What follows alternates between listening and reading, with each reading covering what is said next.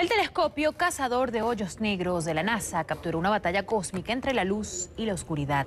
NuSTAR, antes conocido como el telescopio nuclear espectroscópico, ha observado una luz de rayos X emitida cerca de un hoyo negro, producto de la gravedad del hoyo negro supermasivo. La luz está siendo expandida y los investigadores lo vieron todo con un detalle sin precedentes. En esta iniciativa, la corona, la fuente de la luz de los rayos X, que se encuentra cerca del hoyo negro, colapsó recientemente hacia el hoyo y esto se denomina Markarian 335.